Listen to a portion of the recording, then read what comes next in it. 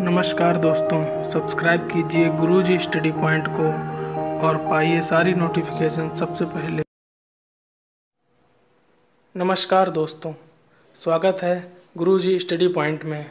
दोस्तों, जैसा कि हम लोगों ने इसकी पहली वीडियो में कुछ महत्वपूर्ण प्रश्न हल किए थे तो आइए कुछ और महत्वपूर्ण प्रश्न देखते हैं, जो कि यूपी टेट और सुपर टेट की परीक्षा के लिए बहुत ही उपयोगी साबित होंगे। दो महीने में आप लोगों की परीक्षा है टेट वालों की, इसलिए आप लोग ज़्यादा फोकस कीजिएगा साथ साथ लिखिए और साथ ही साथ याद करते चलिए। तो देखते हैं पहला प्रश्न, किस अनुच्छेद के तहत हिंदी को राजभाषा का दर्जा दिया गया है? इसका उत्तर आपका हो जाएगा अनुच्छेद तीन सौ तैतालीस। देखिए दोस्तों, ये तो हो गई अनुच्छेद की बात। अगर आपसे पूछता पूछता है कि किस अनुसूची से लिया गया है तो आपकी अनुसूची हो जाएगी आठवीं अनुसूची। ये भी आप लोग जो मैं अलग से पॉइंट बताऊँ, साथ ही साथ लिखते चलिएगा। तो अब देखते हैं अगला प्रश्न। अगला प्रश्न यह है, हिंदी भाषा का नाम सर्वप्रथम किसने सुझाया था? ये जो आपका नाम है हिंदी, ये किसने सबसे पहले बोला था कि ये हिंदी नाम रखा जाए? तो आप में से जिस भी बच्चे को पता हो, वो तुरंत कमेंट करके बताए। तो यह आपके हो जाएँगे पंडित मदन मोहन मालवीय जी। अब देखते हैं अगला प्रश्न, विश्व हिंदी सम्मेलन कहाँ पर हुआ था? तो विश्व हिंदी सम्मेलन जो आपका है, वह 1975 में हुआ था, और अगर यह पूछता है कि कहाँ हुआ था तो आपका हो जाएगा नागपुर। देखते हैं अगला प्रश्न, ग्यारहवा हिंदी सम्मेलन 2018 कहाँ पर हुआ? तो यह आपका हुआ था मॉरिशस में। अगर यह पूछता है कि बारहवा हिंदी सम्मेलन कहाँ पर होगा तो वो आपका होगा सन 2021 में। तो अब देखते हैं अगला प्रश्न, हिंदी का प्रथम उपन्यास कौन सा है? ये आपका हो जाएगा परीक्षा गुरु। और अब देखते हैं अगला प्रश्न, विश्व का प्रथम व्याकरण ग्रंथ कौन सा है? इसका उत्तर हो जाएगा अष्टाध्यायी। अगला प्रश्न, हिंदी की आदि कवित्री किसे कहते हैं? हिंदी की आदि कवित्री कहते हैं मीराबाई को। देखिए, आपका जो प्रथम व्याकरण ग्रंथ अष्टाध्यायी है कभी कभी यह भी पूछ लेता है कि वो किसने लिखा है। तो उसका उत्तर आपका हो जाएगा पाडनी। ये ध्यान रखिएगा आप लोग और साथ ही साथ लिख भी लीजिएगा। और अगर आप लोगों ने ये वीडियो भी शेयर नहीं की है तो देखने से पहले आप लोग शेयर कर दिया कीजिए अपने मित्रों के साथ, जिससे कि वो भी साथ साथ इस वीडियो में पढ़ते रहें और वो भी साथ साथ लिखें। तो फिर आप लोग बाद में एक दूसरे से सुन भी सकते हैं। तो शेयर ज़रूर कर दिया कीजिए और वीडियो पूरी देखने के बाद अगर आपको लगे कि हाँ वीडियो अच्छी थी, कुछ समझ में आया, कुछ इम्पोर्टेंट प्रश्न थे तो आप लोग लास्ट में वीडियो को लाइक करके ही जाइए कि, जाया कीजिए। तो अब देखते हैं अगला प्रश्न, हिंदी का प्रथम समाचार पत्र कौन सा था? इसका उत्तर आपका हो जाएगा, बंगाल गजट। देखते हैं अगला प्रश्न, हिंदी के प्रथम गीतकार कौन थे? इसका उत्तर आपका हो जाएगा विद्यापति। तो अब देखते हैं अगला प्रश्न। अगला प्रश्न देखते हैं। किस काल को स्वर्ण काल कहा जाता है? इसका उत्तर हो जाएगा भक्ति काल। अब देखते हैं अगला प्रश्न। ज्ञानपीठ से सम्मानित प्रथम साहित्यकार। इसका उत्तर हो जाएगा आपका सुमित्रा नंदन पंत। अगला प्रश्न।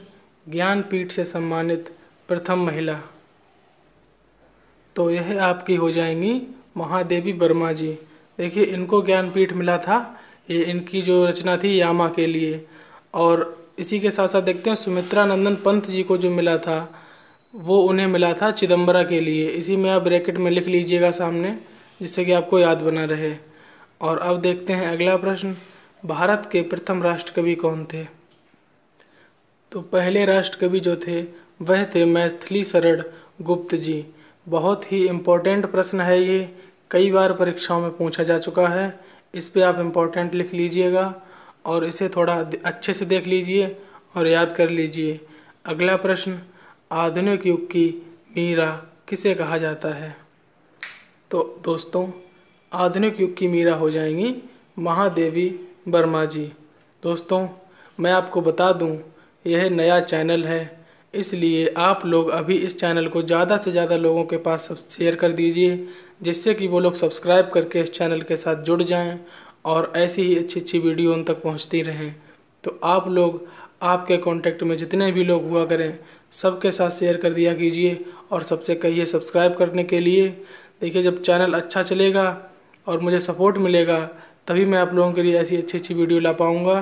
तो दोस्तों, ज़्यादा से ज़्यादा मात्रा में शेयर कीजिए अपने दोस्तों के साथ और टैग किया कीजिए अपने दोस्तों को फेसबुक पे, जिससे कि चैनल सब्सक्राइब हो और लाइक करके ही जाया कीजिए आप लोग अगर आपको कुछ समझ में आए। इम्पोर्टेंट क्वेश्चन लेकर आ रहा हूँ आप लोगों के लिए। तो अब देखते हैं अगला प्रश्न। रामधारी सिंह, जिसे दिनकर भी कहा जाता है, इनको ज्ञानपीठ पुरस्कार किसके लिए मिला था? तो दोस्तों, रामधारी सिंह दिनकर जी को ज्ञानपीठ मिला था उर्वशी के लिए। अगला प्रश्न, हिंदी खड़ी बोली का जन्मदाता किसे कहा जाता है? तो दोस्तों, इसका उत्तर हो जाएगा भारतेंदु हरिश्चंद्र जी। ये प्रश्न भी बहुत ही महत्वपूर्ण है, कई बार परीक्षाओं में आ चुका है। अच्छे से याद रखिएगा, हिंदी खड़ी बोली का जन्मदाता भारतेंदु हरिश्चंद्र जी। तो अगला प्रश्न, देश का पहला राष्ट्रीय हिंदी संग्रहालय कहाँ पर स्थित है? तो यह आपका स्थित है आगरा में। अब देखते हैं अगला प्रश्न। अगला प्रश्न देखते हैं, देश का प्रथम साक्षर जिला कौन सा है? तो यह आपका हो जाएगा नरसिंहपुर में। नरसिंहपुर जिला मध्य प्रदेश में पड़ता है। साथ में लिख लीजिएगा। अगला प्रश्न देखते हैं, हिंदी में आश्रलिप के जन्मदाता कौन हैं? इसका उत्तर आपका हो जाएगा राधे लाल द्विवेदी जी। अगला प्रश्न हिंदी की प्रथम पत्रिका कौन सी थी? इसका उत्तर हो जाएगा, संवाद कौमुदी।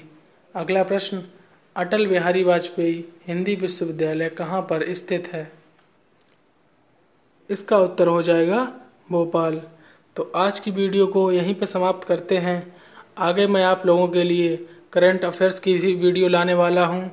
दो या तीन वीडियो उसकी भी आया करेंगे इसी के साथ साथ बहुत इंपॉर्टेंट क्वेश्चंस लेके आने वाला हूँ। तो ज़्यादा से ज़्यादा आप लोग इस वीडियो को शेयर कर दीजिए, जिससे कि और लोग भी इसका लाभ उठा पाएँ और सब्सक्राइब कर दीजिए गुरुज स्टडी पॉइंट को। और वीडियो अगर आप लोगों को पसंद आई हो तो बिना लाइक किए मत जाइएगा। और इस वीडियो में आप लोगों को जो भी चीज़ समझ में ना आई हो, आप कमेंट करके मुझसे पूछ सकते हैं। मैं आपको फिर से समझा दूँगा। Thank you